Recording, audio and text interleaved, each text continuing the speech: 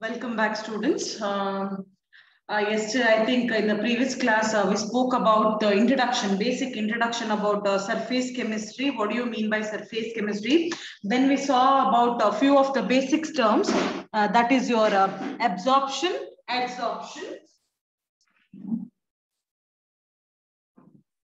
Okay. Uh, now basically what we learned uh, was in the absorption ಅಂದ್ರೆ ಏನು ಅಂತ ನೋಡಿದ್ವಿ right now what do you mean by absorption ಅಂದ್ರೆ ನಾವ್ ಏನಂತ ಹೇಳಿದ್ವಿ usually it is nothing but uh, the one substance which is uh, entering the other substance and it gets uniformly distributed right throughout the bulk of another substance ಅದನ್ನ ನಾವ್ ಏನಂತ ಹೇಳ್ತೀವಿ absorption ಅಂತ ಹೇಳ್ತೀವಿ and then adsorption ಅಂದ್ರೆ ನಾವ್ ಏನಂತ ನೋಡಿದ್ವಿ usually it is nothing but uh, if the particular substance it gets uh, you know accumulated on the surface of one more substance ಅದನ್ನ ನಾವ್ ಏನಂತ ಹೇಳ್ತೀವಿ ಅಂತ ಹೇಳಿದ್ವಿ we usually call it as adsorption and we saw few of the examples for uh, absorption and adsorption basically absorption uh, ಗೆ example uh, best one ನಾನು ಏನಂತ ಹೇಳಿದ್ದೆ that is milk dipped in your milk or anything else adsorption ಗೆ ಯಾವುದು chalk and board right ಅದನ್ನ ನಾವು basic ಆಗಿ ನಿಮ್ಗೆ ಎಕ್ಸಾಂಪಲ್ಸ್ ಅನ್ನ ಕೊಟ್ಟಿದ್ವಿ and then i think uh, we spoke about what is desorption desorption ಅಂದ್ರೆ basically ಏನು ಅಂದ್ರೆ it is nothing but uh, we are removing the substance right we are removing the adsorbed substance from the surface uh, surface ಅದನ್ನ ನಾವ್ ಏನಂತ ಕರಿತೀವಿ and then uh, we also spoke about i think sorption ಅಂದ್ರೆ adsorption absorption ಎರಡು ಒಟ್ಟಿಗೆ ಆದ್ರೆ ನಾವ್ ಅದನ್ನ ಏನಂತ ಕರಿತೀವಿ call it as sorption now uh, basically ಈ sorption ಗೆ example ಕೊಡ್ಬೇಕು ಅಂದ್ರೆ i think i forgot to give you an example based on sorption ನಾವು sorption ಎಕ್ಸಾಂಪಲ್ ಕೊಡ್ಬೇಕು ಅಂದ್ರೆ the best example is dyeing of your clothes ಅಂದ್ರೆ dyeing ಅಂದ್ರೆ ಏನು? ಕಲರ್ ಮಾಡ್ತೀವಲ್ಲ? ಯೂಶಲಿ ವೈಟ್ ಕ್ಲೋತ್ಸ್ ಅನ್ನ ಕಲರ್ಸ್ ಹಾಕ್ಬಿಟ್ಟು you might have seen in your YouTube videos ಅಂದಲ್ಲ ಅವ್ರು ತೋರಿಸ್ತಾರಲ್ವಾ ನಿಮಗೆ? ಕಲರ್ ಮಾಡೋದೆಲ್ಲ ತೋರಿಸ್ತಾರೆ. ಇಂಡಿಗೋ ಕಲರ್ ಅದು ಇದು ಅಂತ. ವಾಟ್ ವಿ ಡೂ ಇಸ್ ಯಾವುದೋ ಒಂದು ಶರ್ಟ್ ಅನ್ನ ತಗೊಂಡು ಅದಕ್ಕೆ ಪೇಂಟ್ ಹಾಕ್ತಿರ್ತಾರೆ ರೈಟ್ ಕಲರ್ ಅಲ್ಲಿ ಡಿಪ್ ಮಾಡ್ಬಿಡ್ತೀವಿ ಸೊ ಅಲ್ಲಿ ನೀವ್ ಏನ್ observe ಮಾಡ್ತೀರಂದ್ರೆ small little amount of colour will be completely observe complete ಆಗಿ ಅಬ್ಸರ್ವ್ ಆಗುತ್ತೆ and little amount of colour will be absorb absorb ಅಂದ್ರೆ, ನಾವ್ ಅದನ್ನ ವಾಶ್ ಮಾಡಿದಾಗ ಏನಾಗುತ್ತೆ ಅಂದ್ರೆ ಕೆಲವು ಕಲರ್ ರಿಟೈನ್ ಆಗುತ್ತೆ ಕಂಪ್ಲೀಟ್ ಒಳಗೋಗುತ್ತೆ. ಇನ್ ಕೆಲವು ಕಲರ್ ಸರ್ಫೇಸ್ ಮೇಲೆ ನಿಂತಿರ್ತವೆ. ಅದಕ್ಕೆ ನಾವ್ ಏನಂತ ಹೇಳ್ತೀವಿ ಅಬ್ಸಾರ್ಪ್ಷನ್ ಅಂತ ಹೇಳ್ತೀವಿ. That is both absorption and absorption taking place simultaneously ಅದಕ್ಕೆ ನಾವ್ ಏನಂತ ಹೇಳ್ತೀವಿ ಅಬ್ಸಾರ್ಪ್ಷನ್ ಅಂತ ಹೇಳ್ತೀವಿ. I think this was was uh, discovered and then uh, uh, sorry discussed and then we also spoke about what is a positive adsorption and then we also spoke about what is negative adsorption ಅಂದ್ರೆ solute in adsorbate in concentration ಜಾಸ್ತಿ ಅದ surface ಮೇಲೆ ನಾವು ಅದನ್ನ ಏನಂತ ಹೇಳ್ತೀವಿ we call it as positive whereas solu adsorbate in concentration surface ಗಿಂತ ಜಾಸ್ತಿ ಬಲ್ಕ್ ಅಲ್ಲಿ ಇದ್ರೆ ನಾವು ಅದನ್ನ ಏನಂತ ಕರಿತೀವಿ we call it as a negative adsorption ಅಂತ ಹೇಳ್ತೀವಿ right i think most probably we might have stopped here now moving on to the next topic for today today is ಈಗ ನಾವು ಅಡ್ಸಾರ್ಪ್ಷನ್ ಅಡ್ಸಾರ್ಪ್ಷನ್ ಅಂತ ತುಂಬಾ ಪಡ್ಕೊಳ್ತೀವಿ ಕರೆಕ್ಟಾ ಅಡ್ಸಾರ್ಪ್ಷನ್ ಅಂದ್ರೆ ಏನು? Adsorption ಅಲ್ಲಿ ಇಷ್ಟು ಟೈಪ್ಸ್ ಇದೆ, ಏನ್ ಕಾರಣ ನಾವು ಈ ಅಬ್ಸಾರ್ಪ್ಷನ್ ಆಗ್ತಿದೆ ಅಂದ್ರೆ what might be the reason for that ನಾವು basically what might be the reason for the absorption ಅನ್ನೋದು ನಮಗೆ ಗೊತ್ತಿರ್ಬೇಕು. ಸಿ ನಿಮ್, ನಮಗೆ ಗೊತ್ತಿದೆ ರೈಟ್ ಅಬ್ಸಾರ್ಪ್ಷನ್ ನಮಗೆ ಏನ್ ಗೊತ್ತಿದೆ ಅಂದ್ರೆ when we write on the board right when we write something on the board ಅಲ್ಲಿ ಏನಾಗ್ತಿದೆ? ಅಬ್ಸಾರ್ಪ್ಷನ್ ಆಗ್ತಿದೆ ಅಂತ ಗೊತ್ತು. ನಾವು what is the reason for that absorption to take ಅನ್ನೋದು ಗೊತ್ತಿಲ್ಲ. ಮೇ ಬಿ ನಾನು ಅದಕ್ಕೊಂದು example ತಗೋದು. Maybe I take one container ಓಕೆನಾ ಒಂದು ಕಂಟೈನರ್ ತಗೊಳ್ತೀನಿ. ಅದ್ರಲ್ಲಿ ಏನ್ ಮಾಡ್ತೀನಿ ಅಂದ್ರೆ, ಒಂದು ಸೊಲ್ಯೂಷನ್ ಇದೆ ಅಂತ ಅನ್ಕೊಳ್ಳೋಣ ಓಕೆನಾ ಇದೊಂದು ಸೊಲ್ಯೂಷನ್ ಅದ್ರಲ್ಲಿ ತುಂಬಾ ಸೊಲ್ಯೂಟ್ ಪಾರ್ಟಿಕಲ್ಸ್ ಇದೆ ಅಂತ ಅನ್ಕೊಳ್ಳೋಣ okay there is lot of solute particles ಅಂತ. ತುಂಬಾ ಸೊಲ್ಯೂಟ್ ಪಾರ್ಟಿಕಲ್ಸ್ ಇದೆ. ನಾವು what I am trying to tell us maybe I consider a molecule ಓಕೆನಾ which is present in the bulk ಓಕೆನಾ ಇಲ್ಲೆಲ್ಲೋ ಒಂದು ಮಾಲಿಕ್ಯೂಲ್ ಇದೆ. ಇದು ಈ ಮಾಲಿಕ್ಯೂಲ್ ಅಂತ ಅನ್ಕೊಳ್ಳೋಣ. ಈಗ ನಾನು ಇದನ್ನ ಕನ್ಸಿಡರ್ ಮಾಡ್ತಾ ಇದ್ದೀನಿ which is present in the bulk of that liquid ಈ ಒಂದು ಮಾಲಿಕ್ಯೂಲ್ ಇದ್ರೊಳಗಿದೆ. ನಾವು ಈ ಮಾಲಿಕ್ಯೂಲ್ ಏನಿದೆಯೋ it will be surrounded by many other molecules correct ಇದು ಲೆಫ್ಟ್ ಅಲ್ಲಿ ಇದ್ರ ಪಕ್ಕದಲ್ಲಿ ಇನ್ನೊಂದು ಮಾಲಿಕ್ಯೂಲ್ ಇರುತ್ತೆ ರೈಟ್ ಅಲ್ಲಿ ಇನ್ನೊಂದು ಇರುತ್ತೆ and then up part it will be having one more and then down part it will be having one more ಕರೆಕ್ಟಾ So what I'm what is happening is one molecule which is present uh, there is a molecule which is present in the bulk which is surrounded by many other molecules correct so ಅದೇನಂತೆ it is balancing the intermolecular process of attraction ಅಂದ್ರೆ ನಾನೀಗ ಒಂದು container ಅನ್ನ consider ಮಾಡ್ತಿದ್ದೀನಿ ಅದ್ರಲ್ಲಿ ಏನಾಗಿದೆ ನೀರ್ fill ಮಾಡಿದ್ದೀನಿ ಓಕೆನಾ ಸೊ ಈಗ ಇದು ಒಂದು ಮಾಲಿಕ್ಯೂಲ್ ಆಫ್ ಸೊಲ್ಯೂಟ್ ಕರೆಕ್ಟಾ ಎಲ್ಲಿ ಇದು ಒಂದು ಮಧ್ಯದಲ್ಲಿ ಇದೆ ಅಂತ ಅನ್ಕೊಳ್ಳೋಣ. ನಾವ್ ಏನ್ ನೋಡ್ತೀವಿ ಅಂದ್ರೆ, ಈ ಮಾಲಿಕ್ಯೂಲಿನ ಮೇಲೊಂದು ಮಾಲಿಕ್ಯೂಲ್ ಇದೆ, ಕೆಳಗೊಂದಿದೆ, ಆ ಕಡೆ ಈ ಕಡೆನೂ ಇದೆ, ಹೌದಾ? So that means it is surrounded in all the four ways so if it is surrounded in all the four ways ಏನಾಗಿದೆ ಅಂದ್ರೆ ಇಟ್ ಇಸ್ ಬ್ಯಾಲೆನ್ಸ್ಡ್ ಏನಾಗಿದೆ ಇಲ್ಲಿ? It is balanced by the force of attraction ನಾಲ್ಕು ಕಡೆಯಿಂದ ಅದೇನಾಗಿದೆ? Force of attraction ಇಂದ balance ಆಗಿರುತ್ತೆ. ಓಕೆನಾ it is balance due to the force of attraction from all the four sides since it is balance that also means it is stable suppose ಈಗ ಇದು ನಾಲ್ಕು ಕಡೆಯಿಂದ ನಾಲ್ಕು ಮಾಲಿಕ್ಯೂಲ್ಸ್ ಇದಾವೆ ಅಂದ್ರೆ ಅದೇನಾಗಿದೆ? ಅದಕ್ಕೊಂದು ಸರಿಯಾದಂತಹ ಬ್ಯಾಲೆನ್ಸ್ ಸಮತೋಲನ ಸಿಕ್ಕಿದೆ ಅಂದ್ರೆ ಅದೇನಾಗಿರುತ್ತೆ? ಸ್ಟೇಬಲ್ ಕೂಡ ಆಗಿರುತ್ತೆ. ಹೌದಾ? If it is balance due to the force of attraction it is also going to be stable and if it is stable suppose ಅದು ಸ್ಟೇಬಲ್ ಆಗಿದ್ರೆ ಅಲ್ಲಿ ಏನಾಗುತ್ತೆ ಎನರ್ಜಿ ಏನು ರಿಕ್ವೈರ್ಡ್ ಆಗಿದೆಯೋ ಅದೇನಾಗಿರುತ್ತೆ ಎನರ್ಜಿ ಕೂಡ ನನಗೆ ಬೇಕಾಗಿರೋದು ಏನಾಗಿರುತ್ತೆ ಇಟ್ ವಿಲ್ ಬಿ ಲೆಸ್ ಅಂದ್ರೆ ನಾನು ಏನಂತ ಹೇಳ್ತೀನಿ suppose if I consider a molecule which is present in the bulk of the liquid ಓಕೆನಾ it is present in the bulk of the liquid and it is surrounded by four other uh, uh, so particles such that it is balanced uh, due to that force of attraction of those particles and it will be stable if it is stable that means the energy which is present the which is required that will be also less ಅಂತ ಹೇಳ್ತಾರೆ okay na the energy required will also be less ಅಂತ ಹೇಳ್ತಾರೆ now let me just consider a molecule okay na I'm going to consider one molecule which is almost present on the surface okay na ಈಗ ಒಂದು molecule surface ಅಲ್ಲಿ ಇದೆ ಅನ್ನೋದನ್ನ ನಾನು ಹೇಗೆ consider ಮಾಡೋದು ಓಕೆನಾ ಈಗ ಒಂದು ಮಾಲಿಕ್ಯೂಲ್ ಈಗ ಸರ್ಫೇಸ್ ಅಲ್ಲಿ ಇದೆ ಅಂತ ಅನ್ಕೊಂಡ್ರೆ ಇಲ್ಲಿ ಏನಾಗುತ್ತೆ ಅಂದ್ರೆ ಆ, ಮಾಲಿಕ್ಯೂಲ್ ಕೆಳಗಡೆ ಒಂದು ಮಾಲಿಕ್ಯೂಲ್ ಇಂದ ಅರೇಂಜ್ ಆಗುತ್ತೆ. ಓಕೆನಾ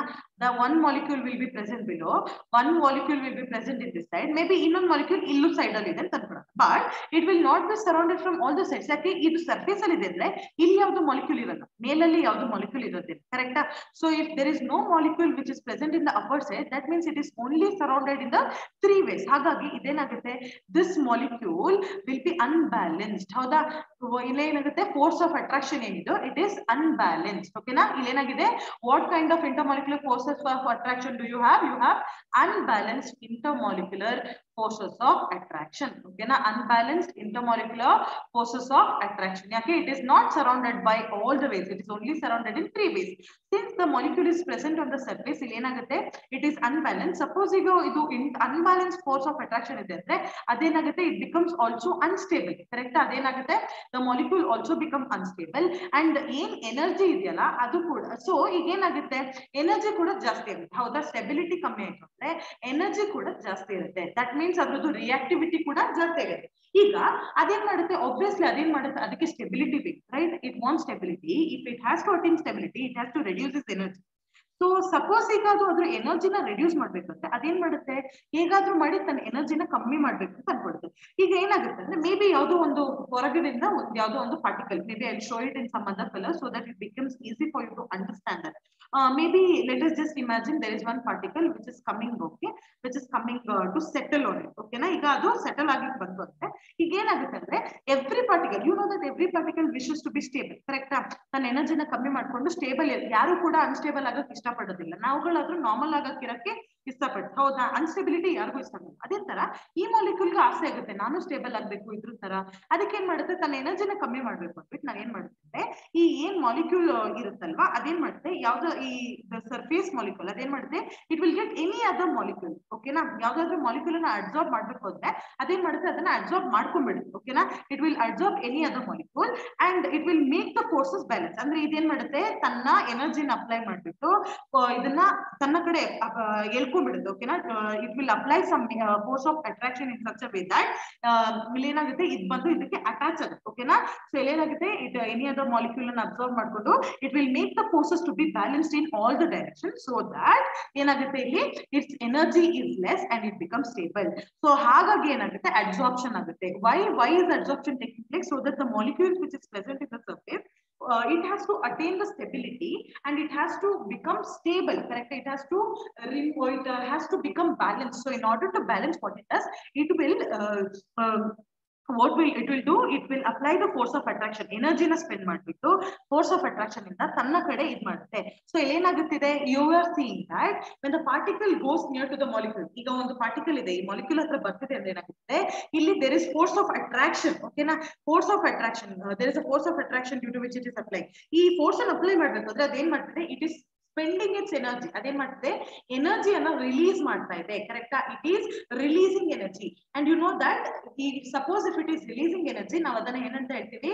We call that kind of reaction as exothermic reaction ಅಂತ ಕರಿತೀವಿ ಓಕೆನಾ what do we call that kind of reaction we call those kind of reactions as we call it as exothermic reaction so ಇದು ಯಾವ ತರದ phenomenon this phenomenon is considered to be exothermic phenomenon ಓಕೆನಾ ನನ್ನ absorption ಅನ್ನು ಏನಿದೆಯೋ ಯಾಕಾಗುತ್ತೆ basically in order to attain the stability and become balance ಇದೇನ್ ಮಾಡುತ್ತೆ it will apply the force of attraction by using the energy ಹಾಗಾಗಿ energy release ಆಗ್ತಾ ಇದೆ ಅಂದ್ರೆ ಏನಾಗುತ್ತೆ? ಎನರ್ಜಿ ಇಸ್ ರಿಲೀಸ್ ಅಂದ್ರೆ it is an exothermic process ಏನಕ್ಕಾಗೋದು in order to balance the unbalance forces of the surface molecule maybe I just write it here it becomes easy in order to in order. In order to balance in order to balance the in order to balance the unbalanced unbalanced forces of unbalanced forces of the surface. In order to balance the unbalanced forces of the surface molecule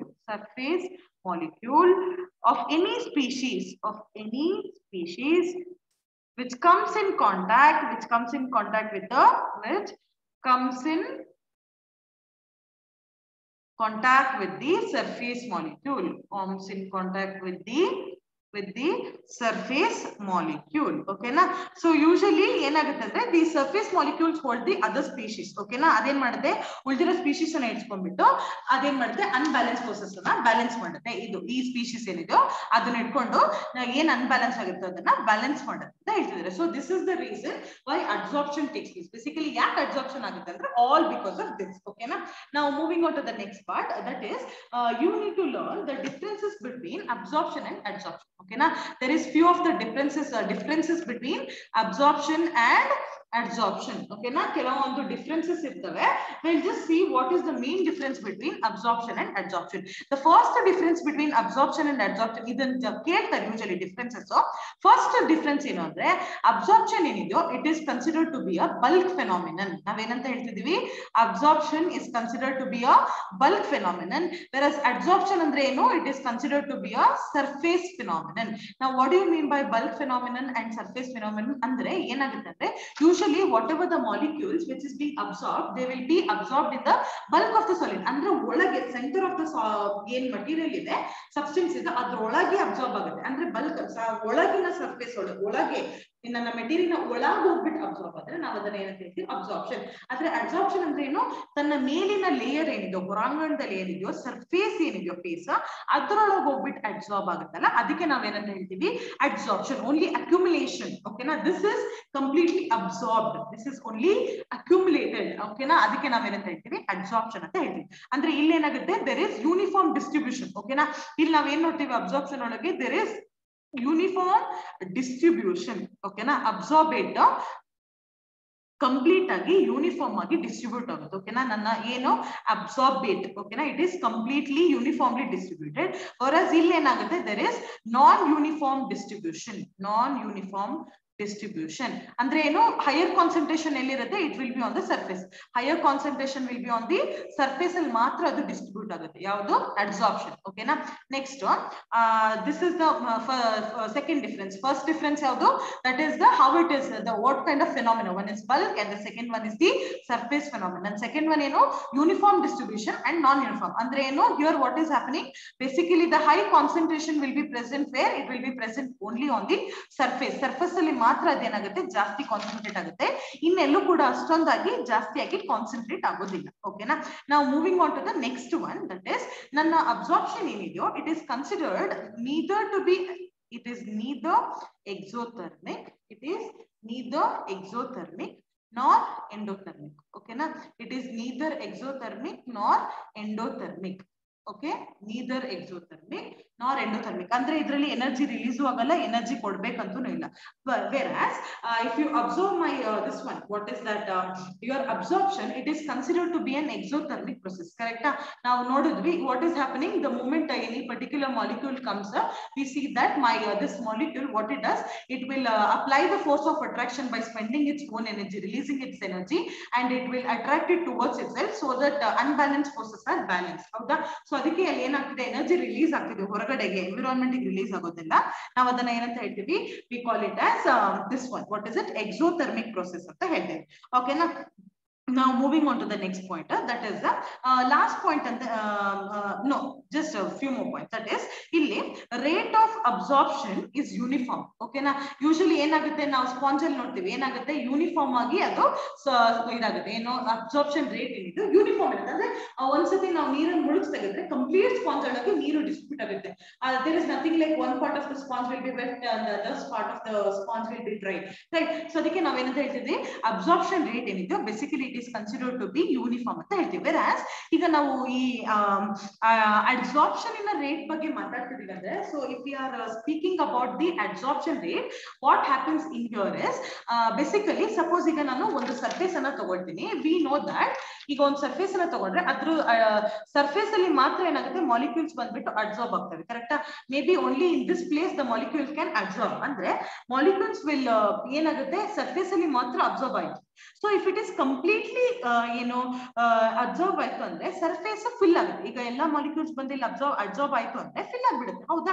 so ಇಲ್ಲಿ ಏನಾಗುತ್ತೆ surface ನಂದು empty ಇದ್ದಾಗ ಮಾತ್ರ only when the surface is empty when the surface is empty rate will be high ಅಂದ್ರೆ ಏನಂತ ಹೇಳ್ತಾ ಇದೀವಿ rate of absorption ಏನಾಗುತ್ತೆ ನಾವು how do we write the difference it will be rapid in the beginning ಓಕೆನಾ it will be rapid in the beginning ಓಕೆನಾ rapid in the beginning because there is availability of empty area ಯಾಕೆ? Starting ಅಲ್ಲಿ surface full ಖಾಲಿ ಇರೋದ್ರಿಂದ molecules ಬಂದು absorb ಆಗಿ ಆಗಿ ಆಗುತ್ತೆ. ಹಾಗಾಗಿ ರೇಟ್ ಇನ್ಕ್ರೀಸ್ ಆಗುತ್ತೆ speed but it will fall down fall down it will rate ಏನಾಗುತ್ತೆ it will fall down in the later part ಯಾಕೆ since the entire surface area is occupied surface area complete occupy ಆಗೋದ್ರಿಂದ ಏನಾಗುತ್ತೆ ನನ್ನ rate of absorption ಏನಿದೆಯೋ it will reduce ಓಕೆನಾ as the molecules fall absorbing on the surface the rate of absorption goes on decreasing ಓಕೆನಾ and then ನನ್ನ absorption ಏನಿದೆಯೋ it is independent of surface area it is not dependent on surface area ಸುಮ್ಮನೆ ಅದು ಆಗ್ತಾ ಹೋಗುತ್ತೆ absorption ಓಕೆನಾ it is not uh, dependent on the surface area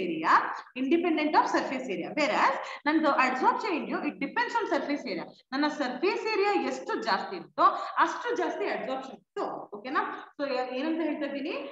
My absorption is basically dependent on what it is dependent on the surface area ಎಷ್ಟು ಜಾಸ್ತಿ surface area ಇರುತ್ತೋ, ಎಷ್ಟು free space ಸಿಗುತ್ತೆ?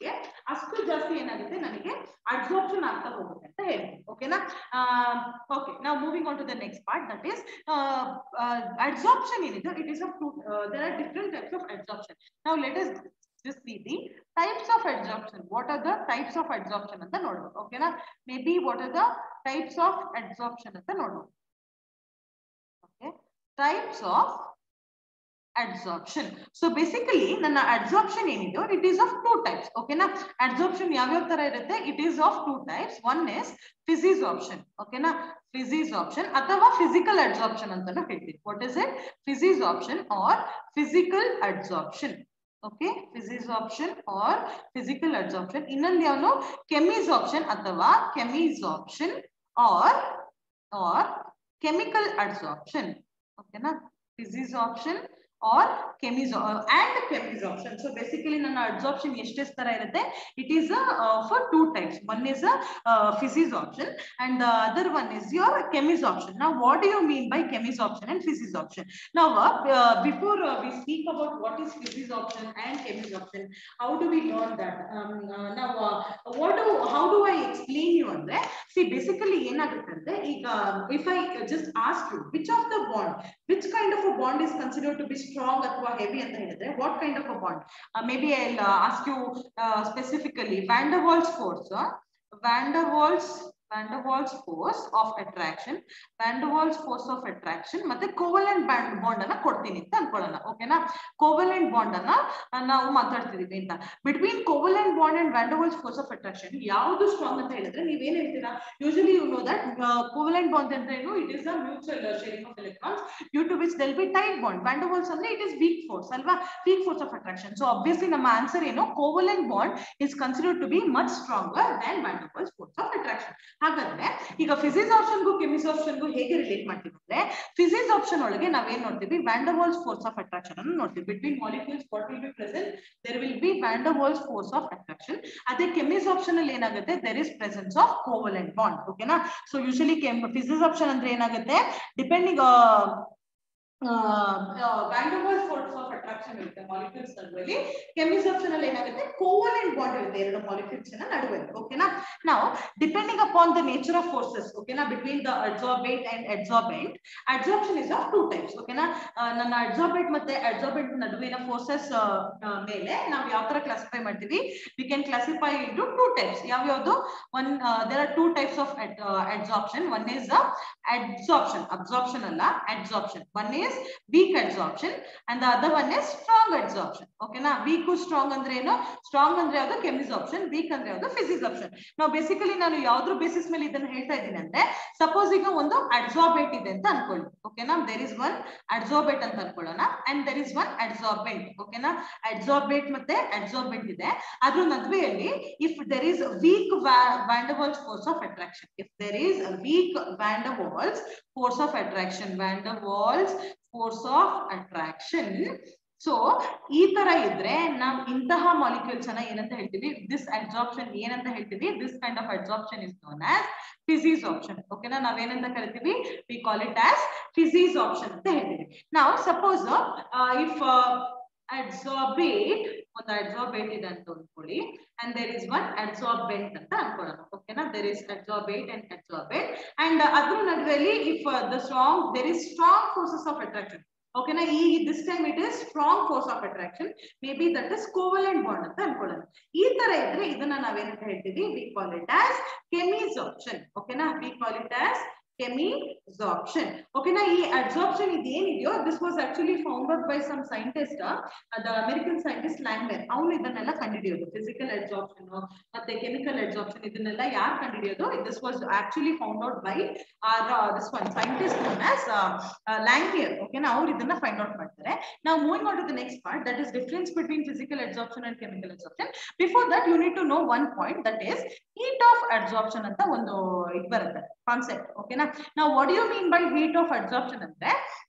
ಸಿ ಈಗ ನಾವು ಯಾವ್ದಾದ್ರು ಒಂದು ಅಬ್ಸಾರ್ಬೆಂಟ್ ಅನ್ನ ಸರ್ಫೇಸ್ ಅಲ್ಲಿ, ಯಾವ್ದೋ ಒಂದು ಅಬ್ಸಾರ್ಬೆಂಟ್ ಇದೆ ಅಂತ ಅನ್ಕೊಳ್ಳೋಣ. ಇದೊಂದು ಅಬ್ಸಾರ್ಬೆಂಟ್ ಅದ್ರ ಸರ್ಫೇಸ್ ಅಲ್ಲಿ ಒನ್ ಮೋಲ್ ಅಬ್ಸಾರ್ಬೆಂಟ್ ಬಂದು ಅಬ್ಸಾರ್ಬ್ ಆದ್ರೆ ಓಕೆನಾ one mole of absorbate one mole of adsorbate ಓಕೆನಾ ಅಡ್ಸಾರ್ಬೇಟ್ ಬಂದು ಇಲ್ಲಿ ಅಡ್ಸಾರ್ಬ್ ಆಯ್ತು ಅಂದ್ರೆ, ಆ ಅಡ್ಸಾರ್ಬ್ ಆಗ್ಲಿಕ್ಕೆ ಎಷ್ಟು ಎನರ್ಜಿ ರಿಲೀಸ್ ಆಗುತ್ತಲ್ಲ so the energy which is release during the adsorption of this one mole of adsorbate ಅದನ್ನ ನಾವೇನಂತ ಹೇಳ್ತೀವಿ? We call it as heat of adsorption ನಾವು what you how can I write what can what is the definition for that ಅಂದ್ರೆ it is nothing but it is the amount it is the amount of heat, okay, na? It is the amount of heat evolved it is the amount of heat which is evolved when when when one mole when one mole one mole of an adsorbate when one mole of an adsorbate ಅಥವಾ gas or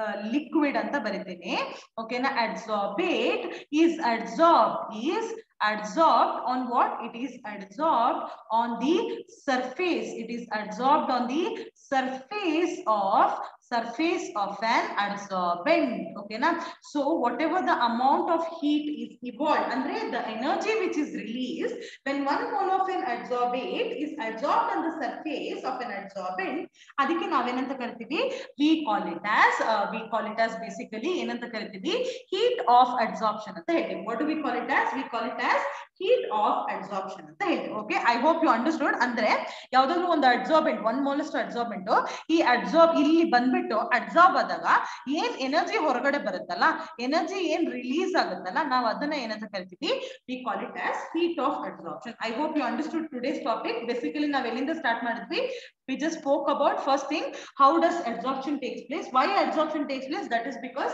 in order to balance the unbalanced forces and in order to make the molecules stabilized the molecules which are on the uh, surface so adsorption takes place and then we saw that there are uh, differences between absorption and adsorption. Few of the differences may be something to do with the phenomenon, then how is the distribution and uh, what is the process of exothermica, endothermica, and then we saw how the rate varies, and then we saw how it is, uh, whether it is dependent on the surface area or it is independent. ಅದನ್ನೆಲ್ಲ ನೋಡಿದ್ವಿ. And then uh, ಇಲ್ಲ next ಏನಂದ್ರೆ there are two types of adsorption. There- That is, there are two types of adsorption. That is physisorption and one more is chemisorption. Physisorption ಅಥವಾ physical adsorption ಅಂದ್ರೆ ಏನು? Uh, that is, uh, this is caused when there is uh, the forces of attraction present between the adsorbent and adsorbent is considered to be van der Waals. For peak forces of attraction ಇದ್ರೆ ಅದನ್ನ ನಾವು physical adsorption ಅಂತ ಹೇಳ್ತೀವಿ. ಅದೇ suppose ಈಗ if that was a strong forces of attraction between my adsorbate and adsorbent ಅದೇ covalent bond ಏನಾದ್ರು ಇದ್ರೆ ನಾವು ಅದನ್ನ ಏನಂತ ಕರಿತೀವಿ you might have called it as a chemisorption we will call it as chemisorption correct and then uh, we saw what is heat of adsorption uh, so this is all about today's class uh, next i will be explaining you about what is the main differences between physical adsorption and chemical adsorption okay uh, thank you students